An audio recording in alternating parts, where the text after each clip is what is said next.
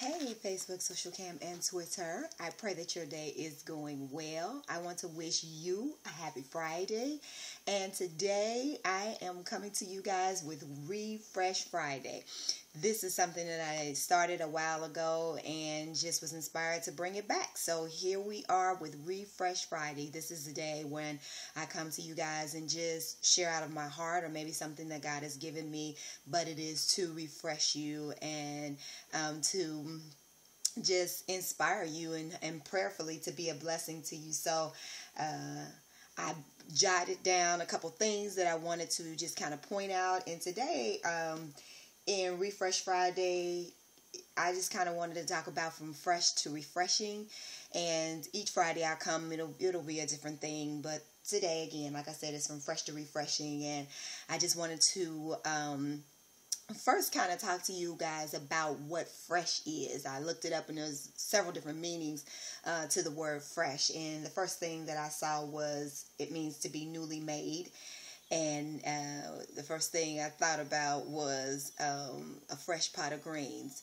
I know some of my um, uh, southern cooks and some of my good eaters know about a fresh pot of greens. So the second uh, definition was newly known as in fresh experiences. Um, and then the other, the next definition that I had was not salty, which um, is referring to as fresh water.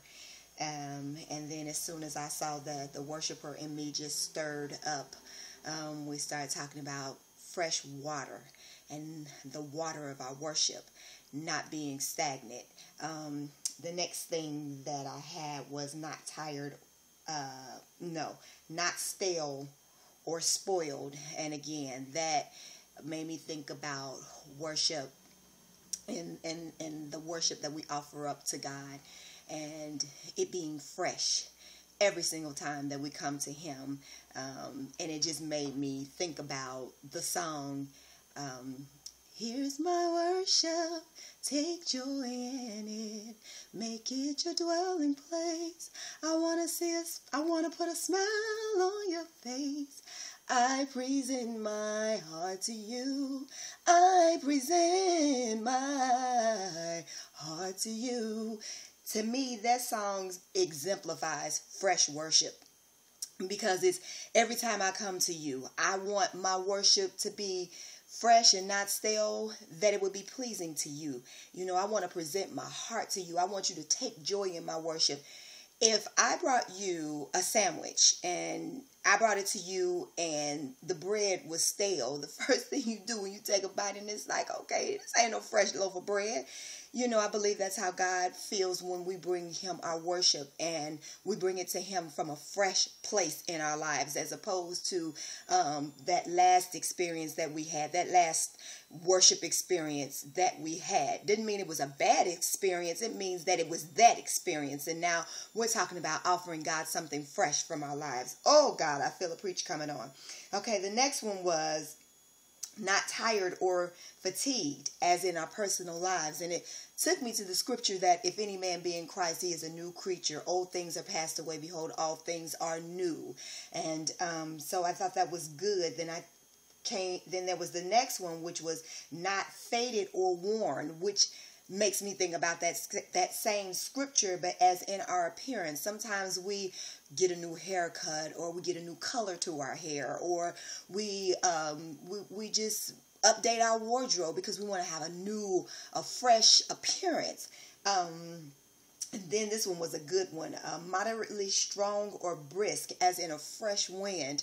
And um, it made me think about the wind of His presence and just how sometimes we can be in a service or service, or we can be having our own personal worship experience with God, and then we'll just feel that fresh wind come in, and it's just uh, let the winds blow, let the winds blow, let the winds blow, let the winds blow. Okay, whoo, yes.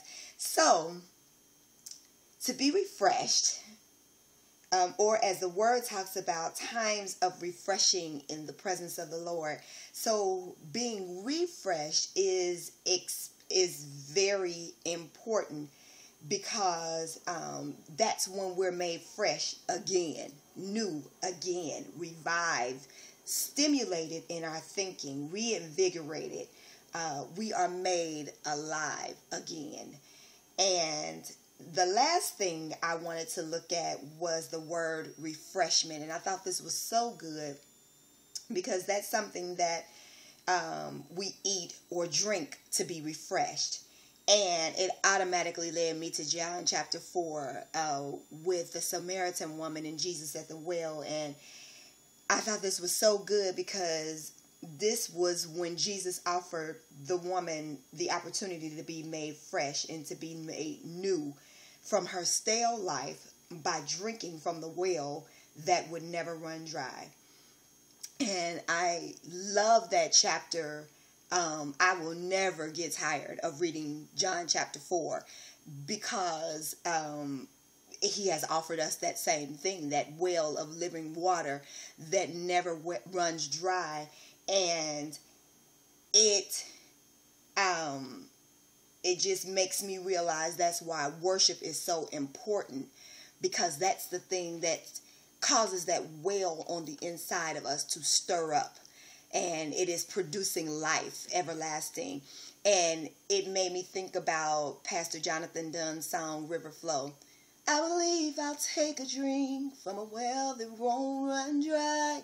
I believe I'll take a drink from a well that giveth life. If thou only knew the gift of God and who it is that said to thee, you would ask of him to give you drink, and he would give unto thee. I got a river flowing inside of me. I'll take a drink whenever I feel the need. Because it's not at the mountain nor at Jacob's well, but from my belly flows a well, springing up living water, worship in me. And so when that worship is fresh, I can let it flow, flow, worship inside of me. Yes, so that's the importance of being fresh, refreshed in the presence of the Lord so that we can offer God a fresh drink of water, not stale worship. So I encourage you to take the time to be refreshed in the presence of the Lord before you get to church on Sunday take that time to just get in his presence just to just to dwell there to linger there so that when you get into the presence of the lord on sunday you have something fresh to offer our god our king. I love you guys to life. Until the next video toodle